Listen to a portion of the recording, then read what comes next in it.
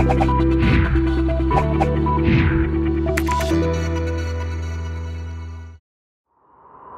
the deadly outbreak of coronavirus, everyone is sharing basic preventative measures. Wear a mask, avoid physical contact, stay at home, and the most known and most effective one, wash your hands. That's right. But have you ever thought of how effective are hand sanitizers? Do they really kill germs? Can germs survive on a bar of soap? Can you fall sick using a bar of soap?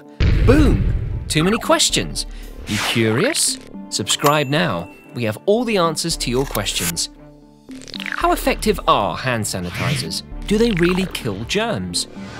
Hand sanitizers come in different varieties, such as gel, foam, and liquid based. They're made of alcohol based active ingredients, such as isopropanol or ethanol, and inactive ingredients such as glycerin and fragrances. A good hand sanitizer should have at least 60% alcohol content to kill germs effectively. But can hand sanitizers kill all kinds of germs? No, they cannot. Studies show that they can quickly reduce the number of microbes, but not eliminate all types of germs. They may not be able to remove harmful chemicals, pesticides, or heavy metals from hands. They're meant to be used directly on the surface of your skin without the use of water. After applying, you must rub it over your hands until they're dry. Yes, hand sanitizers can make your hands clean, but it won't necessarily keep you from getting sick. So, it is best to wash your hands properly with soap and water whenever you can. Now we come to the second part of our dilemma. Can germs survive on a bar of soap? Can you fall sick using a bar of soap? The primary purpose of soap is to clean your body, and so it does. When washing your hands with soap and water, the soap surely cleans your hands, but it does leave a deposit of germs on the bar of soap. These germs are mainly your own skin's microbiome and are not very harmful, but in some cases, when your body's immune system is compromised and is unable to fight against disease causing invaders, you are at risk of infection even from your own skin flora.